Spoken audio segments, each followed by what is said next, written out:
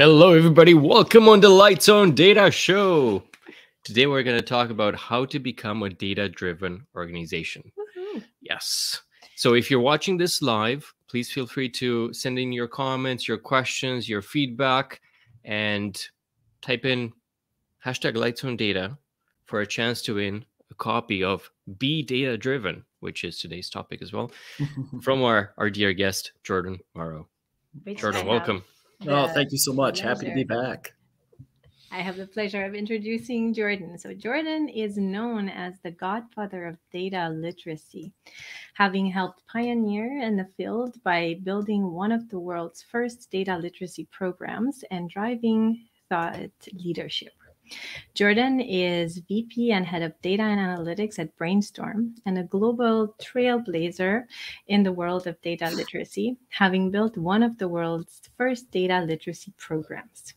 He served as the chair of the advisory board of the um, uh, Data Literacy Project, has spoken at numerous conferences around the world, and is an active voice in the data and analytics community. He has also helped companies and organizations around the world, including the United Nations, to build and understand data literacy. When not found within his work of data, Jordan is happily married with five kids, everyone. Jordan is also an avid trail runner and loves fitness, entering the racing in multiple ultra marathons and having fun adventures in the mountains. Jordan is also an avid reader, often reading or using Audible to go through multiple books at the same time. Oh my God. Welcome, Jordan. Thanks for having me. So I should say five kids, two dogs, and a bunny. I know. Oh, wow.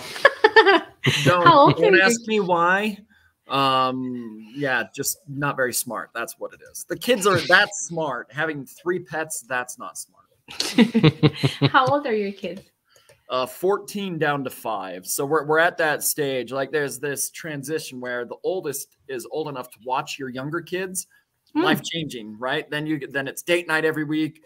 Now all five kids are in school for some part of the day, so it's like more freedom, but it's also sad to lose the the smallness, if you will, of them. Mm-hmm. So right. Wow, that's amazing. That's a huge achievement. Congratulations. thanks. Tell us a little bit more about your hobbies. So George tells me that you are a very high performer in those fields. Yeah. So can you tell us Oh more? man, so I I'm I'm a very early riser, so I get asked a question like, "How do you do all that I do?" It's because I could get up at 4 a.m. and I'm totally okay with that, right? Mm-hmm. And so, like, uh, hobby wise, I love the fitness world. So we'll go outside data and analytics because that's we we'll talk plenty of that. But I love the fitness world, so I weightlift, I love to spin, I run, I love mountains. I live in the mountains in Utah. Um, absolutely love mountain adventures but hobby wise a lot of it is of course as you can imagine um, family oriented so like last week i took all my kids to salt lake's version of comic-con Hmm. and gave my wife a night to herself. We stayed in a hotel. She got to shop and do all these things and it was just a blast. And that's where if people saw my post i, I met brent spiner who was data on star trek and got him to sign my my, my hardcover copy of that book. One of the best stories though is the guy who was sitting next to him and I think helping do all this stuff for the autographs and the pictures and all that. He's like, man, I need help with this. And I just so happened to have a copy of my book. So I gave him a copy of my book. So that was pretty funny. Um, but I do, perfect. oh yeah, maybe maybe we'll get more work with Brent Spiner there. Um, but I do love to read, and and whether I'm reading the book or listening on on Audible, I love books. I, I think books have power. I think that um, learning has power, which maybe is why I'm I'm drawn so much to data literacy. So, yeah, lots of outside hobbies, but then again, it's uh, data and analytics is is passion is not an adequate enough word for me on that one. I love the power that it has and uh, do a lot in that space. Writing book three right now, so we'll have to have a third episode, George, when that comes out. Sounds great. We'll be happy to have you for the third time. So tell us a little bit about this. So you you've combined your passion for reading, for sharing your knowledge, and you do have a lot of knowledge to share, Mhm. and uh, you're teaching us how to become a data-driven organization.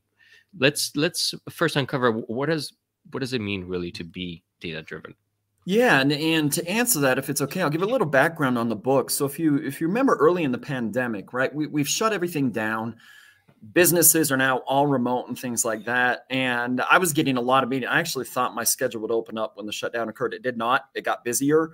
Um, I used to travel a lot prior to the pandemic, and all of a sudden, I'm thinking, man, my calendar is going to be open. I would joke that my family's going to get sick of me because I'm not on the road as much. I worked remotely prior to it, and the opposite occurred. And I started to get like I, I, maybe the word is flooded. That might not be the right word um, with meetings.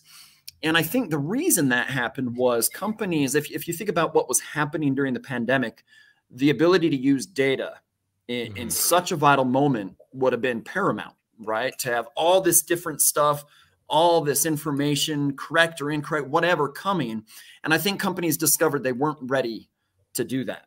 And so they called the data literacy nerd. They called me up and we talk and all that. And in those first few months, that term being data driven started to gain, I would say, more steam. And so it was like, mm-hmm. right, we're going to write on this topic. Built a proposal. It was unanimously approved um, by the publisher, and so wrote the book. And then, and then as you fast forward, um, in 2021, we got in those doldrums, if you will, with the pandemic. Everything just dragging on. And then this year, it's come back with force, which thankfully for me as the author, I, I love because it happened when the book was launched or, or prior. But if you think about it from this holistic sense, companies have invested so much money in data and analytics, um, in tools and technologies, and all this stuff, and they don't see a good return on investment. Period. It, it just no company I've come across is fully doing this holistically.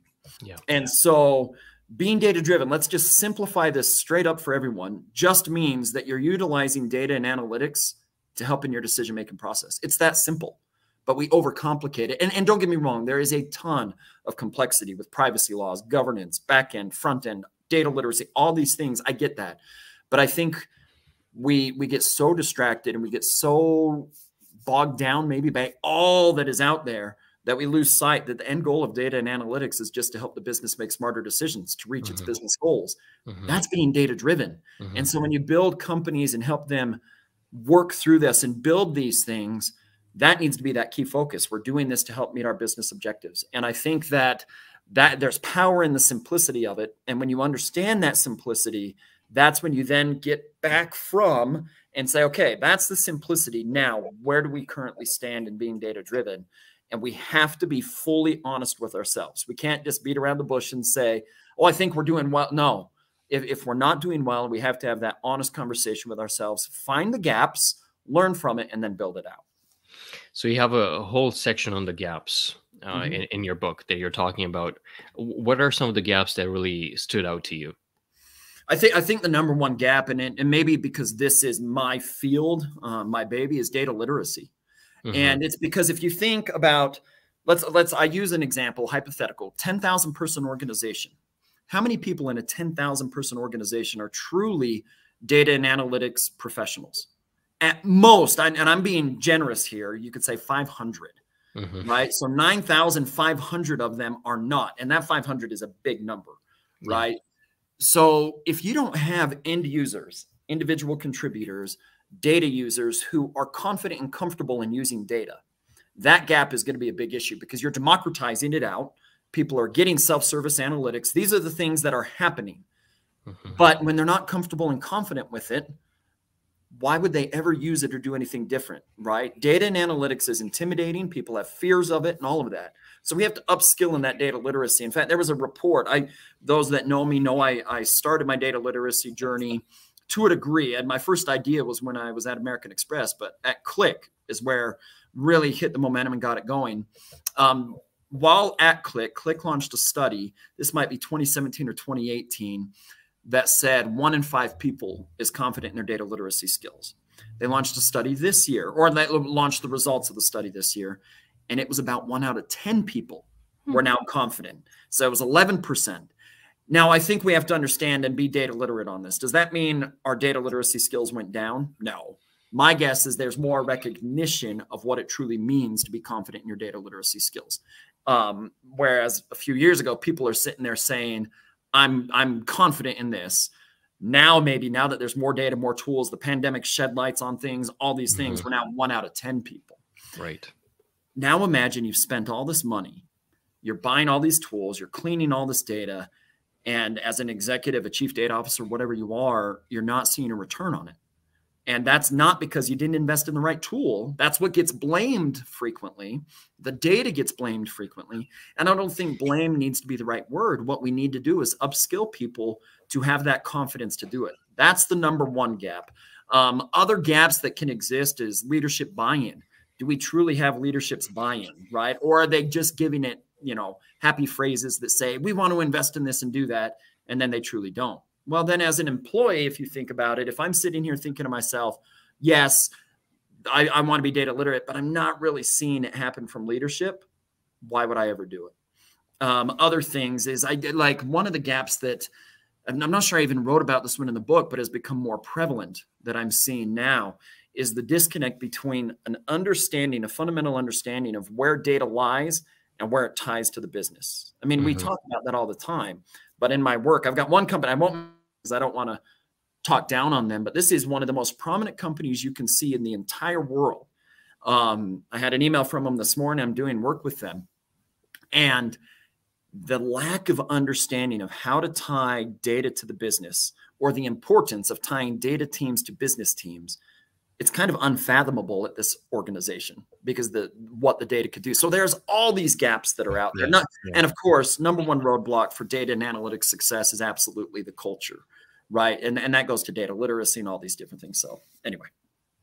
Yeah, I was going to mention that as well as you uh, definitely uh, write about Absolutely. Uh, culture, and um, you know I, I find that that's that can be hard to change and of mm-hmm. course it's kind of dependent on everything else that you've mentioned so far uh, but it can take a while to change uh, either because you need to retrain those people and, and instill a new culture in them mm-hmm. or you need to have new people instead. Yeah, yeah. Absolutely. So i what i would say to it too is like there's there's two things that i make jokes about. One of them is how many of you think it's easy to change a company culture it's not, right? Change management programs fail probably all the time.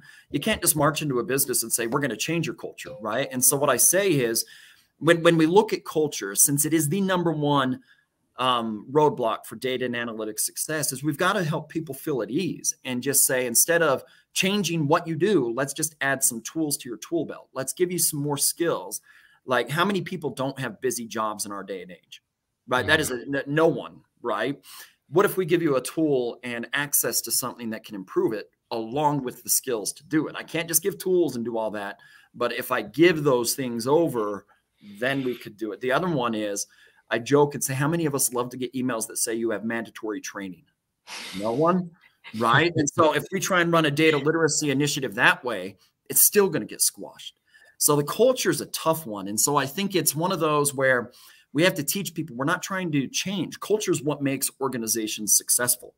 Can we just weave the DNA of data throughout the culture where people are confident and comfortable in using these things that it allows us to um, to truly maybe I lost my train of thought, but to truly see fruition uh, to these things and and to help people just feel this calmness that we're right now we are on StreamYard, publishing through LinkedIn. Those are tools. Yep. We can treat, create in people's minds that data and analytics are just tools to simplify our world. And I think that's a powerful message to share around it. And that's, you know, that's another topic that you cover in your book, the, the tools and the technology uh, to help us become more yeah. data driven. Absolutely. Tools are, this is the thing. I, and I'll use an example. I was meeting with a financial institution um, from Australia. This is a few years ago, probably ago, maybe just under three years ago, 2019. Uh-huh. And the I was at Qlik, and Qlik was coming to me, the sales teams, because this organization was like not getting adoption of the Qlik software like they wanted. Right. I think at the time, Gartner or someone said adoption of data and analytics tools is like 20 or 30 percent. So it's kind of standard that these things are not adopted as well as they should be. And so this financial institution was asking us and saying, okay, we're going to do a proof of concept. You have to prove us against Tableau. So they come to me and they say, help us. And I'm like, well, here's the thing, right? The conversation turned to, I don't care what tool they're using. If they don't have proper data literacy sitting in that organization, the tool will not be adopted. So they mm-hmm. can implement Tableau over Qlik, Power BI over Qlik, ThoughtSpot. Look, I don't care what the tool is. If you don't give people skills on using data, We could give them skills on using the tool, point and click here, do this and that. That's fine. But if we don't give them schools skills on how to use data, they'll be back looking for a new tool a year later. Tools and technology are powerful, but that's they're not a strategy. End point. Data visualization is not the end point of data and analytics, but those are things that have been ingrained or become part of mindsets with people. Tools and technology should be there to do exactly that. They are tools. So if you have a goal, if I'm building a house and I say, George, come help me, I want you to get this nail into that wood and I give you a screwdriver, it's not going to work. Or if I give you a hammer and you don't know how to use it, it's not going to work. So we have to balance this data skills with tool skills. But let, again, the overarching thing should be what is our objective as, as a business? How is data supporting it? What tools will support that? And then underlying skills that do that progression, not just, hey, that tool looks awesome. It's a bright, shiny object. Here's the thing, too. No offense to salespeople who work for data and analytics vendors, they make those tools purr like a cat and they make them look amazing. But guess what kind of data they're using? They're probably using very manicured, perfect data that makes it look that way. The moment you mm-hmm. put it on your own data and it doesn't look that way, frustration. Right now, oh, it doesn't look the way it does there. Well, obviously, it doesn't look that way. So we we need to balance all these things out. So anyway, yeah. I have a question. Yeah. So uh, thinking about the people who are listening to us, so I find that we have a segment of people who mm, are looking into uh, getting into to becoming data professionals, and then the second um, large segment are people who are already data professionals and they are looking for, you know, better education and um, you know um, increasing or expanding their horizon. So my question would be if uh, let's say um, we have a, a, data professional and they, they want to to convince the organization to become more data literate so what what would those steps be the ones that you recommend? And then for the second group who wants to become more data literate or um, to to get into the, uh, this the, the, data profession but besides uh, reading your book what would be the steps to take? So it's a two part question basically. absolutely. So keep me honest to make sure i don't forget the second part. Yes. so let me start with the first. How do you get buy-in? In fact i see susan walsh. Hi susan. Yes. Hi, um, Susan. has the question how can we get leadership buy-in? How do we get people to buy into this? One of the first things it, it is very difficult for someone inside to try and be a voice on this and fully get buy-in. And the reason I say that is, especially from leadership, if you're working inside there, leadership, there, there are tiers, there are hierarchies, whether there should be or not, different topic. But having it be an internal voice is hard. I would say, first off, to get people in, suggest bringing in an external speaker, right? Hmm. Bring in somebody who is an outside expert. I, I speak to companies all the time. I have one or two. I have two sessions tomorrow where I'm I'm I'm a keynote in one. No, three counting at scale. Can't forget at scale. So I've got three tomorrow. Right. Bring somebody in who is an outside voice, who is an outside expert, to share. Right. And it, and it can just be exploratory. It could be like a TED talk. It could be whatever it is. But getting an outside voice to come in. I think it shouldn't, but it does, has more weight and sway than someone internally. And that's because they're internal to it, right? They're this internal person who are a part of it, etc. Um, so that'd be one way. Now, number two or three for how do you get this started? If you are a data professional, whatever it is, number one, does your organization have a chief data officer? If it doesn't, be the leader that you need to be to be the voice.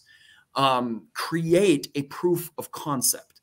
And what I mean by that is, let's say you're an organization of 5,000 people and you have a team personally of 15 drive a data literacy initiative with your 15 people to create a proof of concept.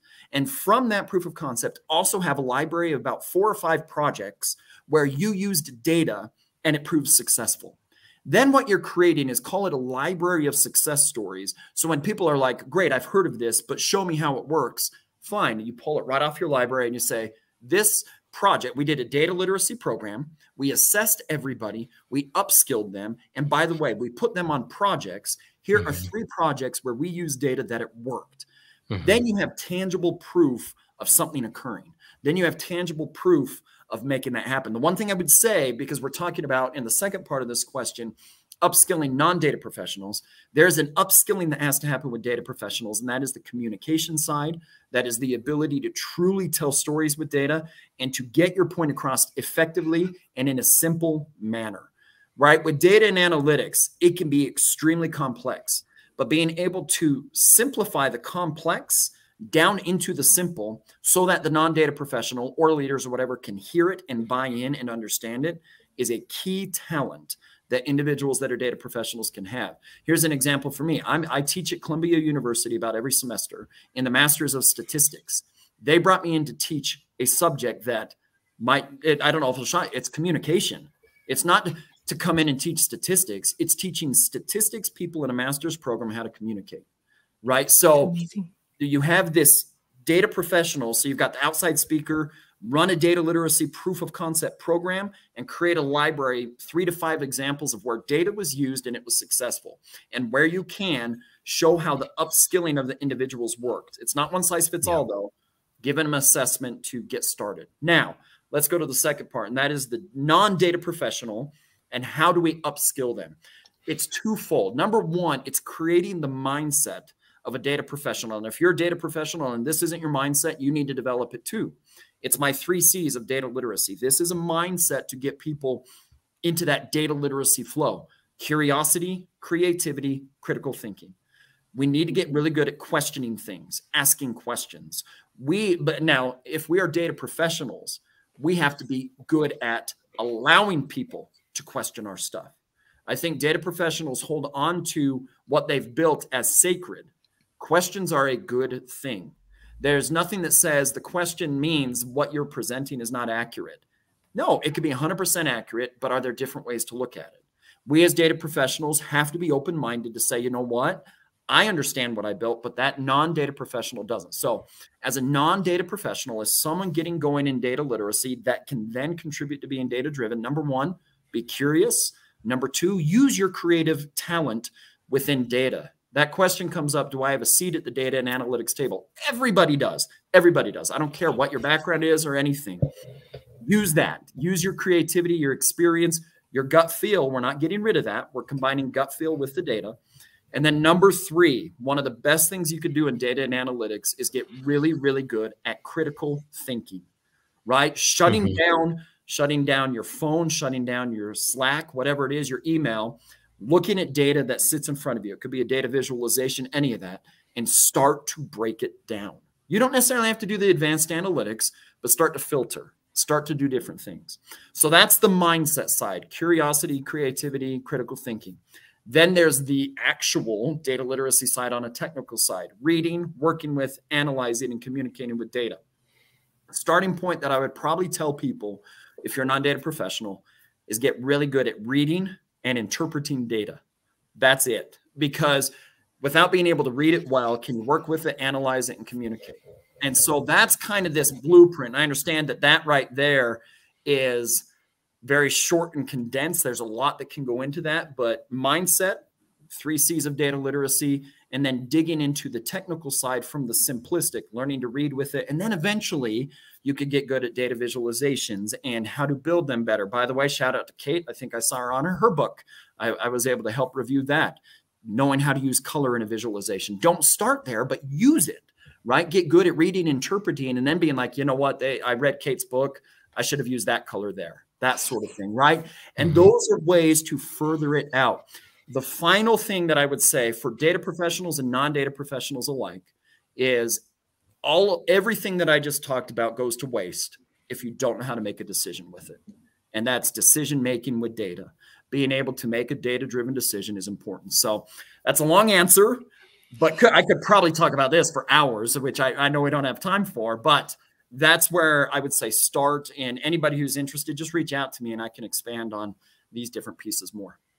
Oh, thank you, Jordan. There's awesome. a lot to uncover here, and I wanted to mention a few things, but I didn't want to interrupt you. You had a, a beautiful flow there going. Uh, one, and on communication, I think that's I completely agree. That's so important. Uh, as you know, I, I, I work and I, I teach data governance, which I think also relies on communication, and I think a lot of any really data management, data analytics, data science activities really they need to rely on this important skill for everybody to have. I was at a conference years ago, and the IDC, the International Data Consortium, was mentioning data governance is 90% communication. And I was really just starting in my career at that point. And I thought, no, that's a bit of over and overkill. But more and more I, I, I agree i think it's so much really relies on communication and being able to communicate what you're doing um, and why are you doing it and how does it tie to the what's in it for me uh, yeah. piece and back to the business needs oh, you're and this on. goes and th- this goes to yeah anything on that you do with data like it's it's one of those we get so caught up in the and enamored with how cool data and analytics is but the secret sauce of it all is communication and yeah. because I could build a cool analysis, I could build the right data governance program. If I can't communicate it out and teach people, oh well, yeah. right? Yeah, it, it, might be all for naught. And, and Deanna likes to um, have an even bigger umbrella over it and, and say, you know, it's not just about communication, but it's about the whole change management aspect. Because with data, we're introducing some change. Yes. It, you know, even so it's beneficial, it does introduce change. It does create an impact, and uh, people are resistant to change by nature by their Absolutely. nature so you need to to manage that yes and communication is a big uh, tool that you're you're using to manage it with but also rewards and training and and uh, whatnot Absolutely. It's all holistic. I think it can't be isolated. Like gamification, all these things matter mm. in that holistic data driven approach, 100%. percent mm -hmm. And I wanted to add a couple more steps to what you mentioned before and how to become more data mm-hmm. literate, um, data driven. And well, the next one is to read your book, Be Data Literate. And the next one after that is read your newest book, Be Data Driven. Thank you. Absolutely. Man, the third book teaser for everybody is Be Data Analytical, where I go wow. into the four levels of analytics. And it's not going to be formulas. There'll be things in there on how to improve in all four levels from a data literacy perspective then hopefully it translates into a data driven perspective and hopefully empowering everybody to just do better with those because it's data is wonderful but it mm-hmm. needs something to bring it to life um, scott you know he and, and all that where he gets mad when people are like data without analytics is is nothing well it kind of is but analytics without good data is nothing they need to be together and so we have to do all those things and make sure that that coin is flipped and and done right and works well together nice Karen has a question here. Uh, would you say shifting responsibility for data to the business and away from IT is key for changing that culture and letting the business drive the value? Hmm. Yeah, I, I wouldn't say what I would say is not necessarily shifting responsibility is the terminology I would use. 100%. The business, like business strategy and data strategy, need to go together. Executive, mm-hmm. you, you can't just silo things off like in the past. So, oh, data will sit over there, the business sits over there. It needs to all be interconnected, even IT, right? Digital transformation. Why are we using these tools and technologies? Forget about data for a second. Everything is this holistic approach that comes back to how are these things helping the business succeed with its strategy and outcomes. That's that's it, right? And so when we say shift responsibility, I want to say shift responsibility. I think we need to make the business side more accountable and responsible for data literacy and data strategy. Then on the flip side, IT has a responsibility to be literate within business strategy. So it, there's this other side. Jason Krantz is looking at this now, right? Is is taking data professionals to really understand the business side of things. And I think so. It's not a shift in responsibility. I think everybody is accountable. Everybody is responsibility. Diana, you said it well with the change management. There is this fundamental shift that has to occur. Evolution, change management, weaving DNA of data. So where the data side understands business and business understands data. That is how you become data driven, right? It's when you silo it off and isolate it, big problems. But when you look at it from that mindset, yes, flow it all together to create those better outcomes with data.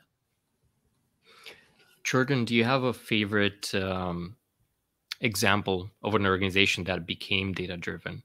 And I know you have a, a, few examples peppered throughout your book. I think one of my favorites that really stood out to me is how you're talking about Airbnb, the fact that they're not in the business of uh, vacation rentals, but they're in the business of customer service. And that's because they're really uh, plugging into that part of data and uh, giving them all these insights about their customers to be able to service them better. Yeah, I, I think there's, I, I think it's interesting when you think of companies that are data companies. It should be every single one now. So I'll give an example of a company that I, I like this story a lot. Eh, those who have ever watched Shark Tank, um, they I forget his name, the the gentleman who is the mean investor, right? And right. his son, I forget his nickname, and Mister um, Wonderful or whatever it is. His son was working at Tesla, and an intern or something like that. And his son said, Dad, you should invest in this. And his dad was like, Why would I invest in a car company? And I don't know if it was his son or what flipped the dad switch, but then when the dad realized Tesla is a data company, right? Mm-hmm. Like I own one, and it's it, you think about how much data gets processed, like maps, all these different things.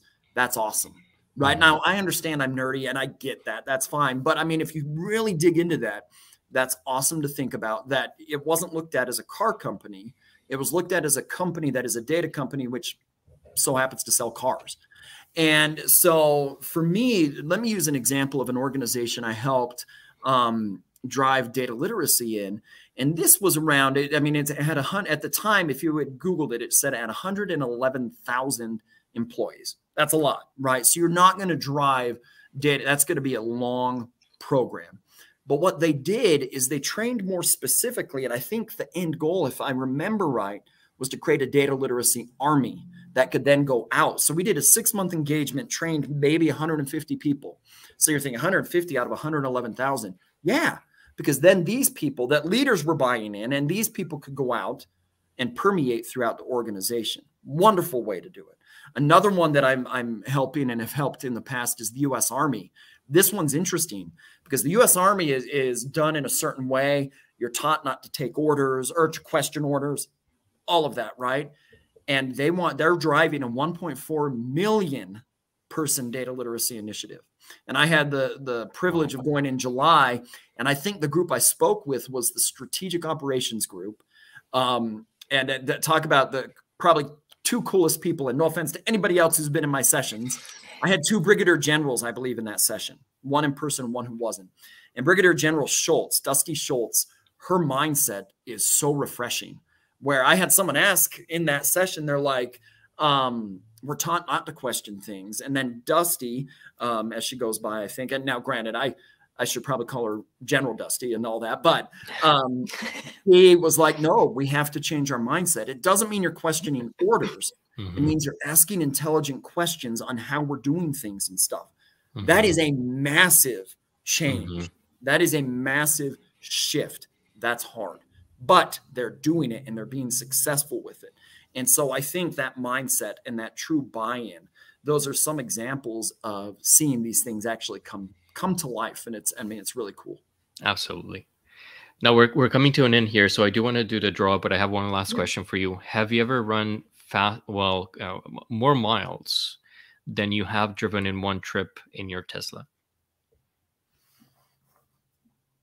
Wow. Yeah, wow. I I think I have. I think and I have run an ultra marathon or in multiple ultra marathons. Each one of those has run more than I'm trying to think. That's a good question. I would bet the answer is yes. I don't think I've driven it in one trip over 50 miles yet. And I've done right. multiple ultras where I've hit 50 uh, miles or more. And so uh, I would think the answer to that question is yeah. That's kind of well, cool. That's impressive. I never thought of that, so I'm gonna have to think on that one more.